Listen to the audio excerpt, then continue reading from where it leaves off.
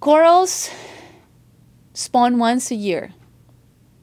And it's uh, so this is linked to the sea surface temperature with the moon, eh, with the moon cycle, lunar cycles. So at the end of summer, when it gets warmer, six to seven days after the full moon, three and a half hours after sunset. So it's different in Florida than in Mexico than in Panama because the sun sets at different times. So you sort of have to be there and if you miss it then you have to wait another year. But it's really spectacular. We put the nets out, then we sit around and wait for several hours on the boat and then we go back in and nothing happens, nothing happens, and suddenly it's just madness in the reef. Everybody is releasing the gametes, and it's beautiful. It's really, really striking. Julia, the German student, said, Oh, these guys in Florida are doing the same thing that we've been doing for the past two years.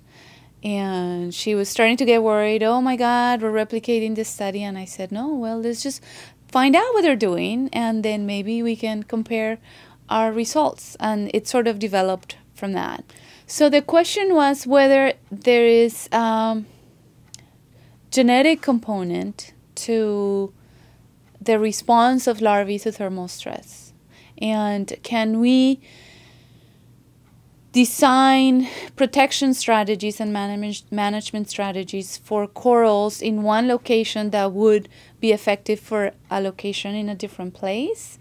And this sort of uh, situation gave us the opportunity to compare these two different populations from Florida and from Mexico under similar conditions when they spawn and they are exposed to higher sea surface temperatures because it's the end of summer, eh, how are they going to cope with increasing sea surface temperatures over the years?